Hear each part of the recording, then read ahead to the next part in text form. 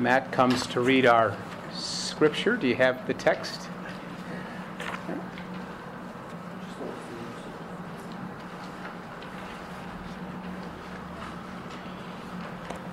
Uh, it's 1 John chapter 3, verses 1 through 24.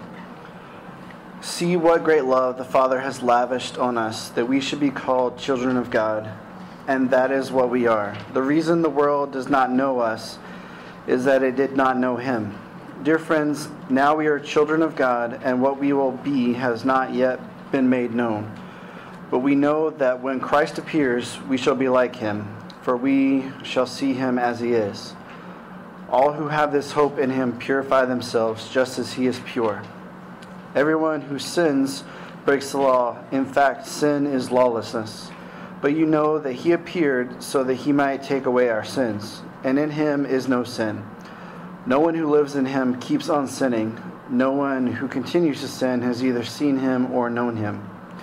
Dear children, do not let anyone lead you astray. The one who does what is right is righteous, just as he is righteous. The one who does what is sinful is of the devil, because the devil has been sinning from the beginning. The reason the Son of God appeared was to destroy the devil's work. No one who is born of God will continue to sin, because God's seed remains in them. They cannot go on sinning because they have been born of God. This is how we know who the children of God are and who the children of the devil are. Anyone who does not do what is right is not God's child, nor is anyone who does not love their brother or sister, or brother and sister.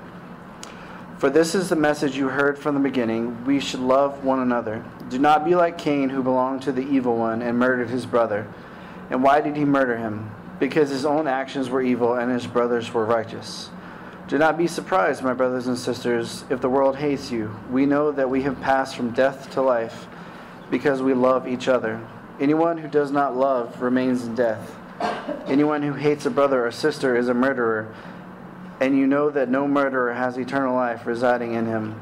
This is how we know what love is. Jesus Christ laid down his life for us, and we ought to lay down our lives for our brothers and sisters. If anyone has material possessions and sees a brother or sister in need, but has no pity on them, how can the love of God be in that person? Dear children, let us not love with words or speech, but with actions and in truth. This is how we know that we belong to the truth and how we set our hearts at rest in His presence. If our hearts condemn us, we know that God is greater than our hearts and He knows everything. Dear friends, if our hearts do not condemn us, we have confidence before God and receive from Him anything we ask, because we keep His commands and do what pleases Him. And this is His command to believe in the name of His Son, Jesus Christ, and to love one, to love one another as He has commanded us. The one who keeps God's commands lives in him, and he in them. And this is how we know that he lives in us. We know it by the Spirit he gave us. Our human version of love falls so short. I thought I was, I was a pretty romantic guy during my engagement, living in suburban Buffalo, New York. My wife had her own apartment, and I had mine, and on those really snowy mornings, I would get up earlier than I needed to. And I would go down to her car because I knew she needed to go to work. And I would brush it all off, including, get this, man, if you want to learn how to woo a young lady, I drew a heart in the snow on her back windshield. It was the best I had. It falls so short, though, doesn't it? Of the love of God. Heard a story about a man who wanted to prove his love for his wife, so he swam the deepest river, he crossed the widest desert, and he climbed the highest mountain. She divorced him because he was never home. uh, human love, it, it falls so short. 1 John 3.16 is where we started the journey, right? This is how we know what love is. Um, it, it, we as believers, Christ died for us and then the second half of that verse, which I want to focus on today because I think it's, it's, it's tough. And we are to lay down our lives for one another. Let me just break the, the this chapter up quickly uh, uh and spend more time on the second half of it than the first. But the first, first few verses of it talk about the part that the Trinity plays in bringing about our salvation. What God the Father, God the Son, and God the Spirit did to work for our salvation. Aren't you glad we don't have to work for it? He did it all. Jesus paid it all, all to him I owe. Sin had left a crimson stain, he washed white as snow. My kids remember every mistake I made, and when convenient, they remind me.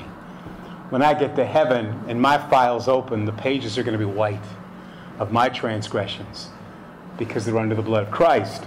God did it all. In this chapter, the, we see the Father doing something, we see the Son doing something, and we see the Spirit doing something.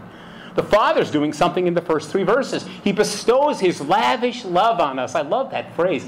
He bestows.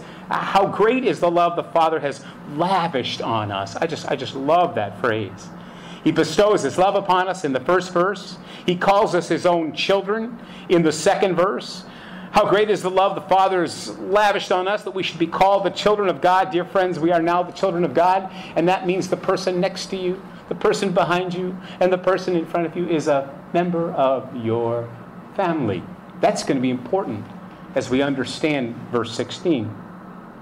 And then finally, the Father promises us that someday, in some way, we're going to be like Jesus. How great is the love the Father has lavished on us that we should be called the children of God, and what we will be has not yet been made known, but we know when Christ appears, we shall be like him, for we shall see him as he is. I'm not exactly sure what that means, so I'm not going to guess. But I can't wait to see. So that's the role of the Father. The role of the Son is in verse 4, and then uh, verses 4 and 5, and then a little later on in 8, two things that the Son does in working for our salvation. First, of course, he dies for our sins. In verse 4, everyone who sins breaks the law. In fact, sin is lawlessness, but you know that he appeared so that he might take away our sins, and in him is no sin. We all know that. We're Baptists. We know that, right? But the second thing it says in verse 8 that the Son does in working our salvation for our salvation is he destroys the works of the devil, verse 8. The one who does what is sinful is of the devil because the devil's been sinning from the beginning. The reason the Son of God appeared was to destroy the devil's work.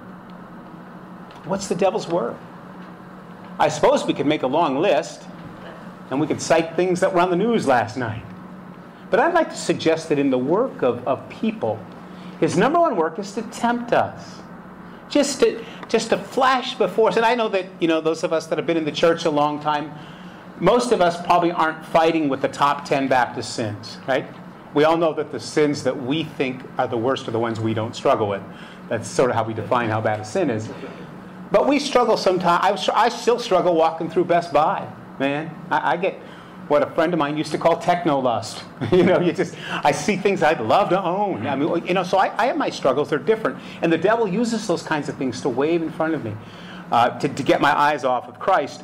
So one of his jobs is to tempt, but the Bible says that for the believer in, in uh, 1 Corinthians chapter 10, verse 13, that for the first time in our lives, there isn't a single temptation that comes across our path as believers that he has not, because he's faithful, provided a way of escape out of. That's never happened until we knew his son. And because of what his son had done on the cross. God is faithful. He will not let you be tempted beyond what you can bear, but when you're tempted, he'll provide a way. And then the role of the Spirit is in, in verse 24. He indwells us. He seals us, Ephesians 4.30 says, for the day of redemption. So that's how the, the Trinity's wor- bringing about or working for our salvation. But then in the second half of the chapter, we're encouraged to work out our salvation. That's different than working for it. When Paul wrote to the Philippians in chapter 2, verse 12, he encouraged them to continue to work out their salvation with fear and trembling. Um, it doesn't mean to work for it, doesn't mean to earn it. Um, it means to, to, to live it out, to flesh it out. And in the second half of 1 John 3, he gives three pieces to that working out. And the first piece of it is what I call the process of confirmation. I still have some friends of mine who I was with. I mean, I was with them on the moment they bowed the knee. Any of you ever taught children Sunday school? You know what I'm talking about. When that little tyke, you know, nose running and hair out of place because mom got him up the last second and has two different shoes on. and he's about six, but that's the morning he says, Teacher, I'd like to accept Jesus. I was with adults when they did the same thing. But every so often I run into one who every other day doubts whether he's really in Christ or not. And I have to shake them in love.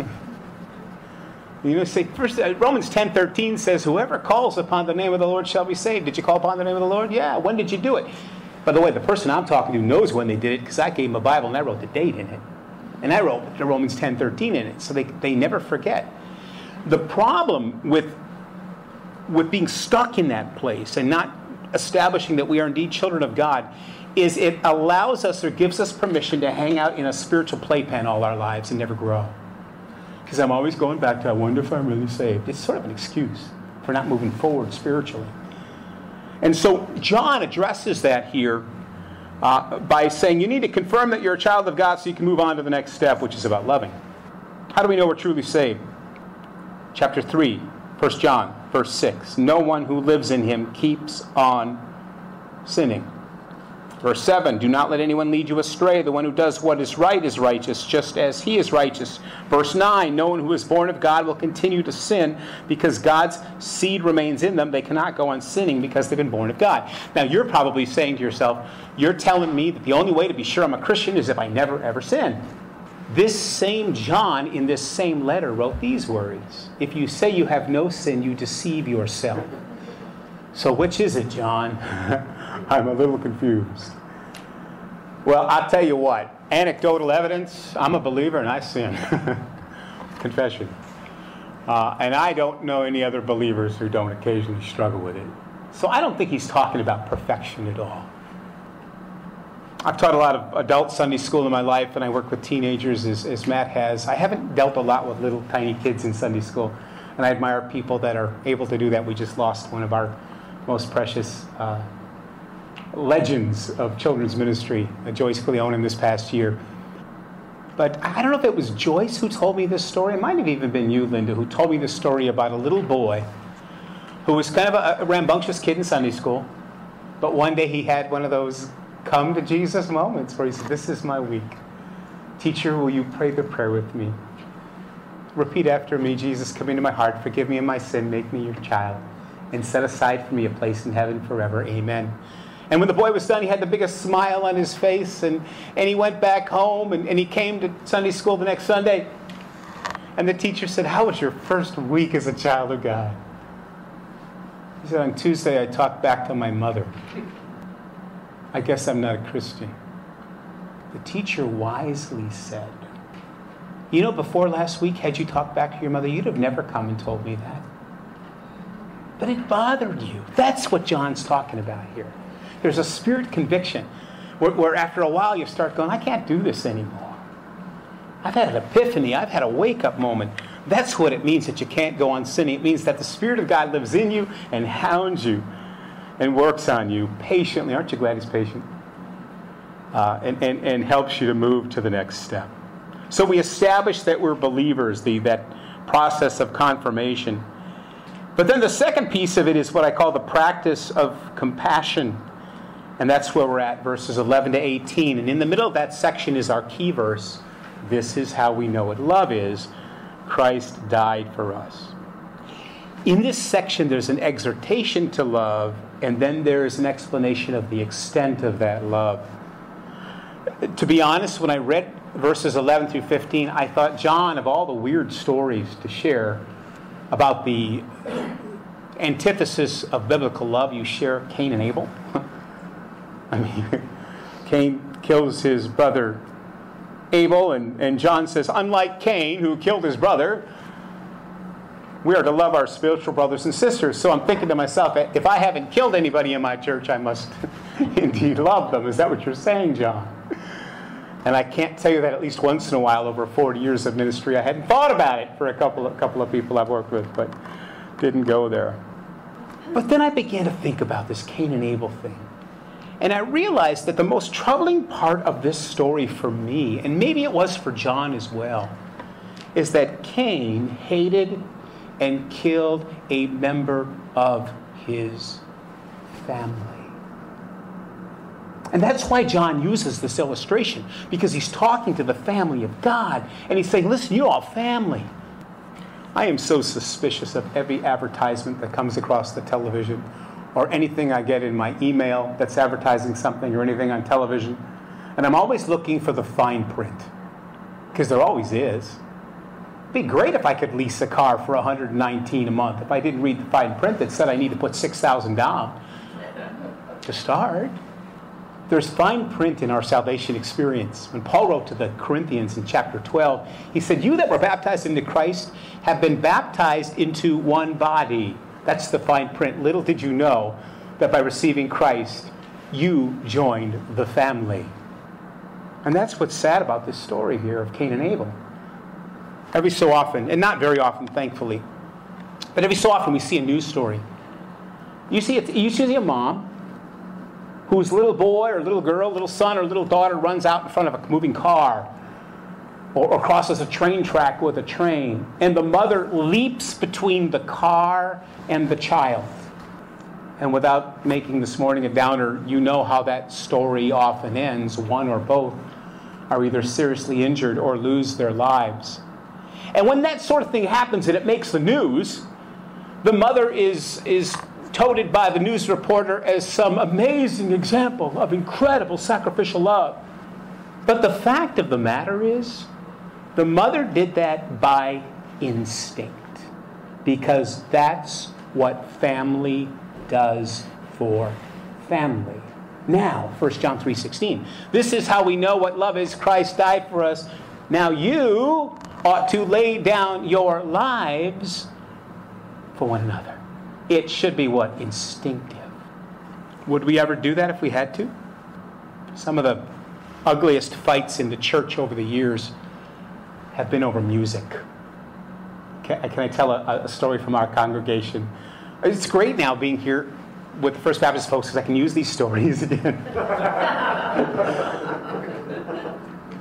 Bernice Winson was our church librarian for many years, and when I came, we decided to put a worship team together, which included an electric piano and a sound system and a bass guitar. And she was in panic. And uh, I knew she was, and I loved her and respected her. She loved the Lord, and her service at the church was amazing. So I didn't want to do anything to offend her. I, want, I never want to do anything to offend anybody, but I thought we needed to kind of branch out and do some newer things with younger people, and so forth. So the first six months, we did the most quiet, reflective, contemporary stuff we could do. And I remember once she pulled me aside and she said, I was so nervous about this. And she said, But it's been beautiful. And she said, Beyond that, she said, The Spirit of God spoke to me and said I needed to lay down my personal preferences for something bigger than me in relationship to church music. If we won't lay down our preferences for music, we'll never lay down our lives. If we gossip about one another in the church when that person isn't around and we're talking about them, if we won't lay down our right to do that, we'll never lay down our lives for one another. That's what it's talking about. It should be instinctive. I know we've got to wrap up here. I um, every so often we get a news story about a national Christian figure. Whether you like Joel Osteen or not, some people are excited about his preaching and others are not, and that's okay. We're all different. But I remember when they had, was it a hurricane down there? And, and he was ripped all over the news for not opening his building. And I saw Christians going on social media ripping their brother, Joel Osteen, for not opening his building. Now, I don't know if he should have or shouldn't have. I don't know the particulars. I don't know anything about it. Maybe he should have. Maybe he shouldn't have. But the point is, we shoot a brother instead of just keeping our mouths shut just because he's a national figure. No, he's my brother. He claims Christ. And I'll never lay out my life for him if I won't close my lips for him and hold my opinion for him. So that the world knows we're his disciples because we have this crazy love for one another. Now, I'm not going to defend a Christian who does something wrong, but I'm also not going to put a banner in my front yard announcing that he or she did wrong either. Some of us remember the Jim Bakker scandal. PTL network many, many years ago. It was a big news story. Jim Bakker, after his time in prison, wrote a book. And in the book, he tells a story about a surprise visit while he was in prison. If you remember the whole story, I, am going to get in the weeds here. I'll get out of the weeds quickly and we'll wrap this up. If you remember the whole story, Jerry Falwell, Liberty University, uh, tried to uh, grab the property of Jim Bakker, that whole PTL property. And I'm not saying that was dishonest or honest. He just immediately was in hot pursuit of that property. Um, and others were sort of doing the same thing. Jim Bakker's in prison, and he hears from the prison guard that he has a visitor. And you know who the visitor was? It was the Reverend Billy Graham. And Billy Graham sat down with Jim Bakker. and he said, Only you and God know if what you did was right or wrong. I just want you to know that I'm here as your brother, letting you know I love you, and I'm praying for you, and praying for your restoration, and that someday God will use you again. That's, and we ought to lay down our lives for one another. That, that's, the, that's the message here. Two minutes. We'll wrap this up. The extent of our love there is in verses 16 to 17, and it's all about family. The family of God. There's a family priority in verse 16. We ought to lay down our lives for our brothers and sisters. In verse 17, there's a family practice. You can say you believe that, but if you don't practice verse 17, you're a liar is what John would say. If anyone has material possessions and sees a brother and sister in need but has no pity on them, how can the love of God be in that person? And then finally, the family principle, verse 18 Dear children, let's not love with word or speech, but with actions and in truth. I said this last week, and I'll conclude with this, and I'm not sure where I'm going to go next week. Still praying about where to go. But let me, and I might even come back to this as we near Easter. If I'm going to love with real love, today, January the 8th, 2023, here, and when I'm at home, and whoever I may be with before the day is over, I must love like Jesus. If I'm going to love like Jesus, I need to learn about Jesus. I need to have my Bible open every day, reading the stories. And the last thing is, I need to admit I can't love like Jesus. How many of you ever wore one of those WWJD bracelets? Anybody have one of those at one time? What would Jesus do? I think the intent behind it was good. I really do. I mean, I think it was it was to get people to, to think about Christ in the particular mundane, everyday stuff of life. But I remember hearing a little story about a boy who was with his dad, and uh, they were going to go on an island in, in Michigan uh, for a, an afternoon of fun, some one of the islands off off Michigan.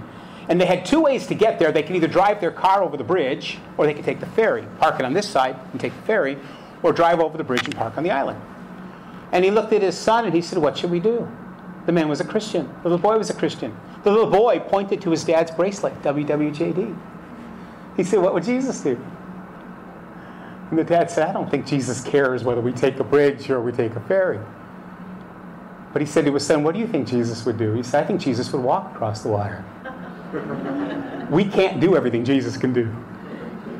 So it's not about trying to love like Jesus, it's about surrendering my phony, fickle, conditional, failing, inconsistent love and yielding to the filling of the Spirit of God. So it's no longer me that's loving, it's Him loving through me. And that's when the Christian life gets exciting. Let's pray. God, thank you for uh, real love exhibited in, in nails and, and two cross beams by one who even offered forgiveness and grace to two criminals on each side of him that were worthy and deserving of the death penalty. That's your love. God, help us to grow in love for one another that the world might know we're your disciples. Help us to meet each other's needs, not enable one another, nothing like that, just looking for genuine need and, and running to the aid of each other so that the world begins to get thirsty for what we have in the church. Help us to refrain from gossiping about anyone in the family of God as that discredits and stains the gospel. Um, and if ever called upon, help us to even lay down our physical lives as a testimony to the fact that this life is nearly as important as the one to come. We ask you to help us with this in Christ's name. Amen. Uh, this song.